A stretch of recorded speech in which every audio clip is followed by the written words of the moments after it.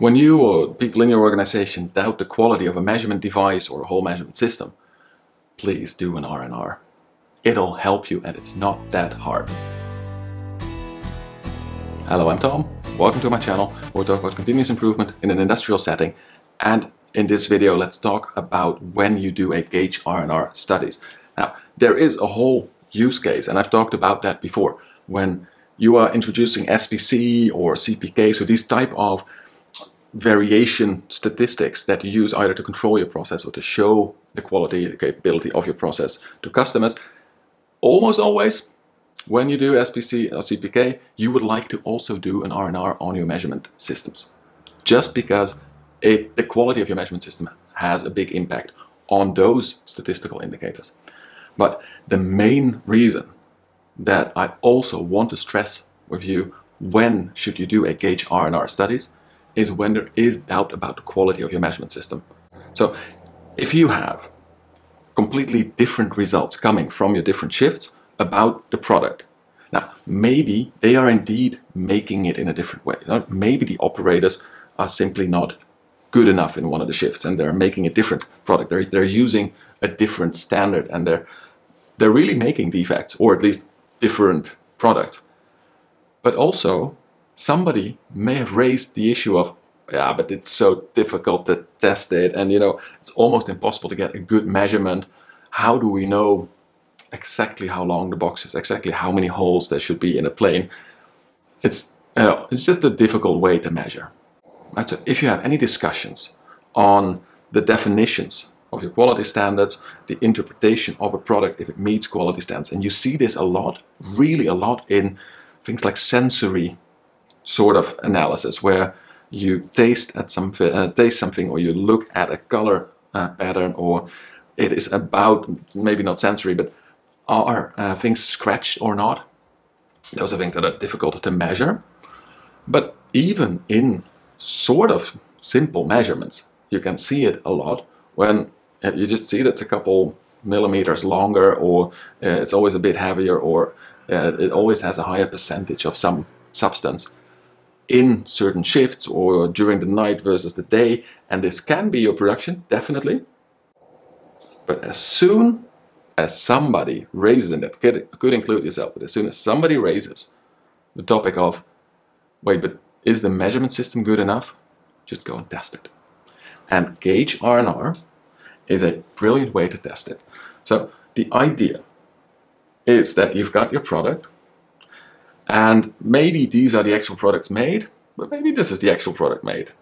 We don't know because we only get the observer data. Now, this observer sees that our product is too wide.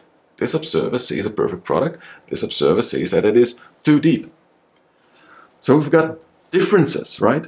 Do we actually have different products or not? So what is the actual quality of our product? Right now, our quality system says that we've got a whole bunch of defects, two-thirds in this one. But we know that we only see what the operators or the laboratory staff, the quality people, but the assessors see. And that has an element of the product difference, probably, also has an element of the assessor difference. And that is what Gauge R&R is all about. Can we repeat and reproduce that same measurement? So when we do have the same product, will different people, if we really know that's the same one, will different people, both when they get that same product sort of randomly in front of themselves and they test it a couple of times, will they at least get the same result every time? That's repeatability. But also, will assessor B get, at least on average, the same results as assessor A.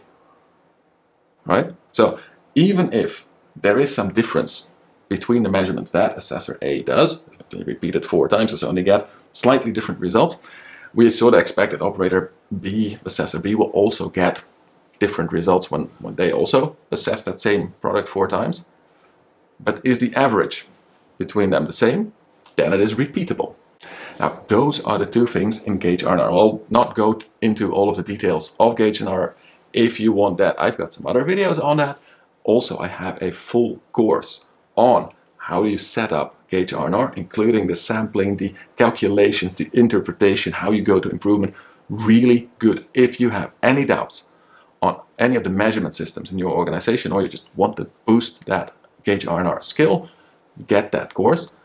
And what it will show you is that actually doing a Gauge R&R study isn't even that difficult.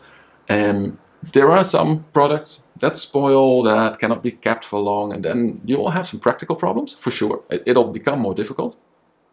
But many tests that we do are not that expensive and not that difficult. And I will assure you, if you have a test system, so the analysis itself, that doesn't destroy your product or your product is just nice and stable, setting up an R&R studies really isn't as much trouble as many people think.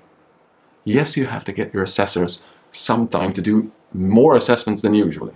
They have to analyze a whole bunch of somewhere in the area of about 30 to 40 analyses to do this test, and each of them has to do that. But that can quite easily be arranged. And think of it in this way. When you're getting this result, and you have some idea that the product isn't that bad actually, are you going to waste two-thirds of your production because your assessors cannot really assess the product?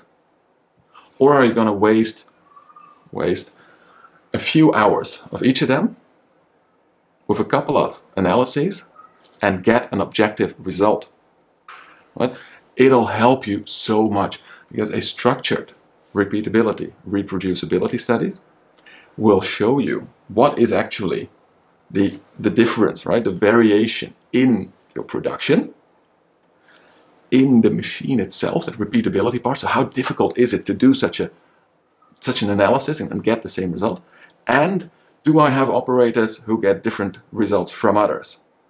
Because the fun part is, here, uh, they, they all three have a different thing, right? But usually, if there's an operator-to-operator difference, you will see that one out of four has a completely different value from the others.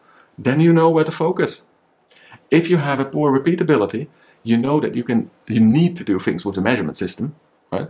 But you can either do something with the sampling or the device itself, or you can make subgroups and then average a number of results and again have a trustable system.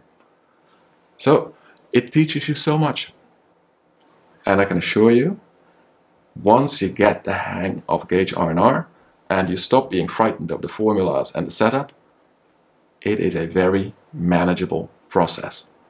So go and get that course or just download my free template and watch a couple other videos if you already have uh, some experience in Six Sigma and setting up laboratory tests and ring trials and things like that.